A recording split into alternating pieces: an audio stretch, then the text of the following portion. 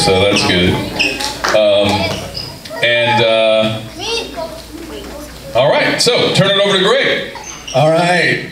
So um, before we before I do this, I wanted to um, tell you guys uh, that next Thursday at, from seven to nine, if you're interested in being a part of a focus group and you're 18 to 30 and you live in this area, then I, I need to talk to you. Um, it's a young adults building community, and uh, it's an effort here in Gulfton to uh, impact the community. And there's a group coming in here next week that wants to talk to you if you fit, if you're in that age group to get your ideas. And they'll feed you, and then you get some other stuff. But um, I've got some of you already signed up, but if you're in that, come talk to me. So 18 to 30, and they consider this area Sharpstown or Gulfton. So if you live in this immediate area, Sharpstown and Gulfton, uh, you know you know what that. If you live here, you know what that is.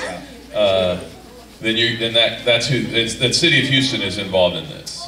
Yeah, city of Houston, and and then if there's any if there's any women, I, I need uh, I need at least a couple women, and uh, if you if you live in this area to do that. So okay, so um, tonight I was thinking about. Um, yesterday, last night was the 50th anniversary of Martin Luther King's assassination.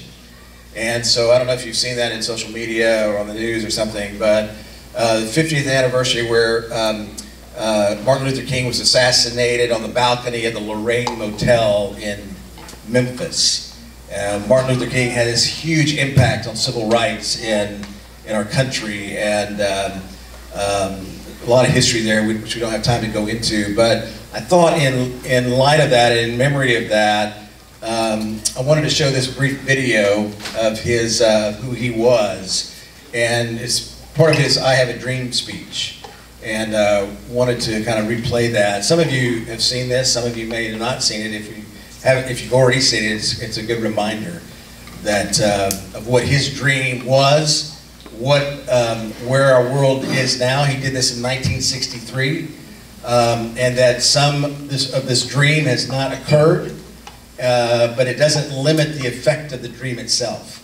And that even though we see things happening that are not part of that dream, that dream still remains. And uh, I think it's a good reminder for us about what it means to be what he called um, the beloved community. And uh, so I think of our group that way as a beloved community. And uh, so anyway, I want to play, play this for you tonight as we, I lost my signal here, hold on. So you might want, if you can't see, then you might want to come in a little bit closer. So even though we face the difficulties of today and tomorrow, I still have a dream. It is a dream deeply rooted in the American dream. I have a dream that one day this nation will rise up live out the true meaning of its creed. We hold these truths to be self-evident that all men are created equal.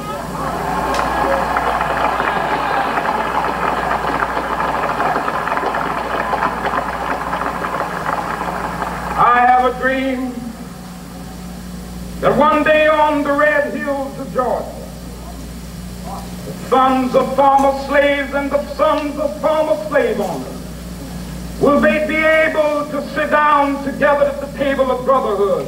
I have a dream that one day, even the state of Mississippi, a state sweltering with the heat of injustice, sweltering with the heat of oppression, will be transformed into an oasis of freedom and justice. I have a dream My four little children will one day live in a nation where they will not be judged by the color of their skin, but by the content of their character. I have a dream today.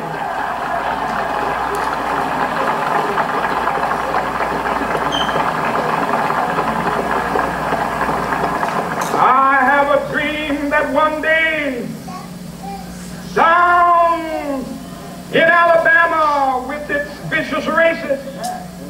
With its governor governor his lips dripping with the words of interposition and nullification.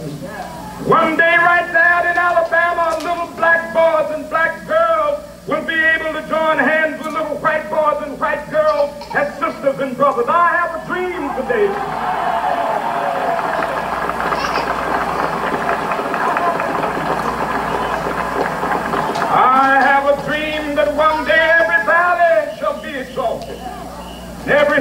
Every hill and mountain shall be made low, the rough places will be made plain, and the crooked places will be made straight, and the glory of the Lord shall be revealed, and all flesh shall see it together. This is our hope. This is a faith that I go back to the south with. With this faith, we will be able to hew out of the mountain of despair a stone of hope. With this faith, we will be able to transform the jangling discords of our nation into a beautiful symphony of brotherhood. With this faith, we will be able to work together, to pray together, to struggle together, to go to jail together, to stand up for freedom together, knowing that we will be free one day. This will be the day,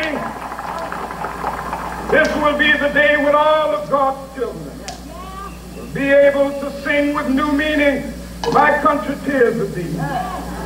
Sweet land of liberty of thee I sing. Land where my fathers died, land of the pilgrims cried. From every mountainside, let freedom ring, and if America is to be a great nation, this must become true. So let freedom ring from the prodigious hilltops of New Hampshire. Let freedom ring from the mighty mountains of New York. Let freedom ring from the heightening Alleghanies of Pennsylvania. Let freedom ring from the snow-capped Rockies of Colorado. Let freedom ring from the curvaceous slopes of California. But not only that, let freedom ring from Stone Mountain of Georgia. Let freedom ring from Lookout Mountain of Tennessee.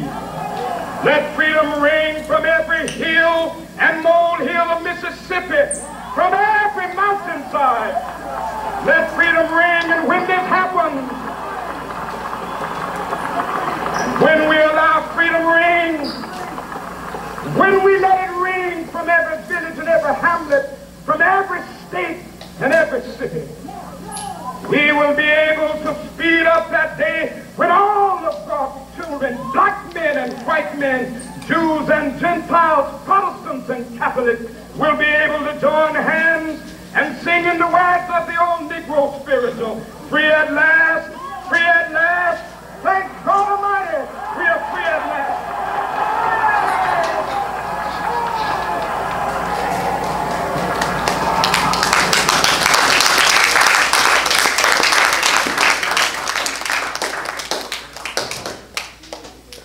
So about five, about five years later, five years after that, five years after that speech, uh, he was shot at the Lorraine Motel by an assassin's bullet. And um, so I think about what it means to um, continue this dream, right? And uh, so we have, I think of our community as a, as a dream catcher. We, each of you are dream catchers, but we also are these dream builders. And in the face of the things that we look at in our culture today, people getting shot, and the injustices that we continue to see, it's, it's people like you and me and this community that comes together to show that something different can happen.